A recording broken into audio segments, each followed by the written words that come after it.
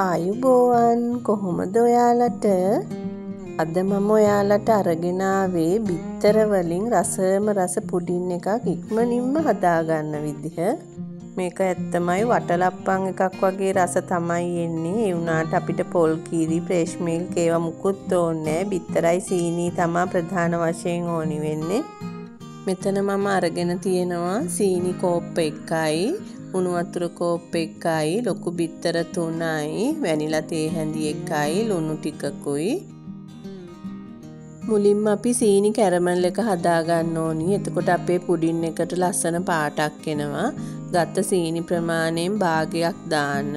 දාලා ඒක මේ වගේ දුඹුරු පාට වෙනකොට ගොඩක් කළු කරගන්න එපා. එතකොට පුඩින් එක තිත්තරහ වෙනවා.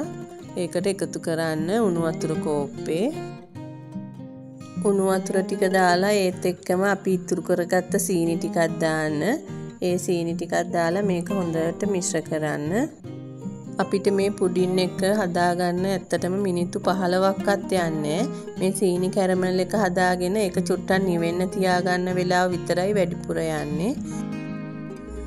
සීනි ටික දිය වෙලා මේක නූල ඇදෙන පදම වගේ වෙනකොට ලිප නිවා ගන්න.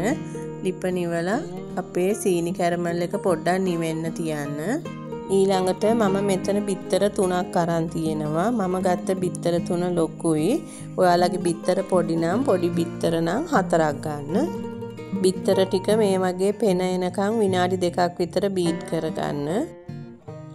ඊට පස්සේ ඒකට එකතු කරන්න අපි නිවෙන්න තියාගත්ත සීනි කැරමල් එක අපි මේ පුඩින් එක ස්ටීම් කරලානේ හදන්නේ මේ වෙනකොට වතුර එකක් ලිපේ තියාගන්න රත් වෙන්න. ඊළඟට මේකට අපි එකතු කරනවා ලුණුයි වැනිලයි. වැනිලා නැත්තම් ඔයාලට පුළුවන් එන සාලට දෙකක් හොඳට පොත් අයින් කරලා තලලා මේකට දාන්න.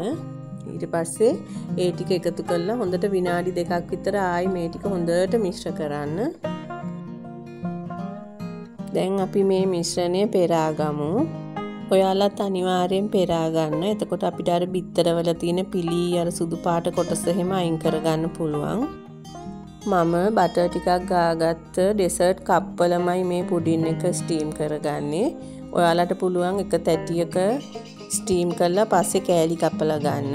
ඒක කැමති විදිහකට කරන්න. එක තැටියකට දැම්මොත් නම් ගොඩක් වෙලා ස්ටීම් කරන්න වෙනවා. මෙහෙම අපිට විනාඩි 6-7ක් යනකොට ගාහන්ට මේක ස්ටීම් වෙනවා. මේක මම තම්බගන්නේ රයිස් කුකර් එකේ. වතුර එකක් මං උතුරන්න තියලා තියෙන්නේ. මේ ඩෙසර්ට් කප් ටික මේකට අහුරන්න.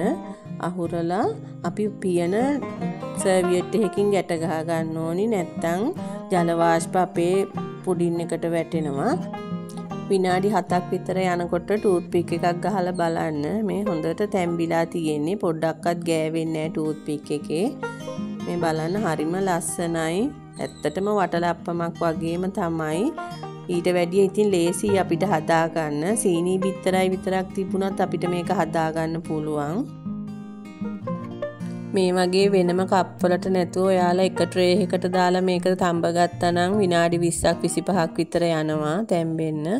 ඔයාලා මේක තඹගත්ත එක තැටියක නම් පොඩ්ඩක් නිවෙන්න තියලා අනිත් පැත්ත හරවන්න. ඔයාලා මේක කෑමට ගන්න කලින් පැයක් විතර ශීතකරණේ දාලා තියලා ගන්න පුළුවන් නම් තවත් ගොඩක් රසයි. මේ බලන්න වටලප්පන් එකක් වගේමයි. හැබැයි ඊට වැඩිය ඉක්මනට අපිට පහසුවෙන් හදාගන්න පුළුවන්. වීඩියෝ එක නරඹපු ඔයාලට ගොඩාක් ස්තුතියි. සුබ දවසක්.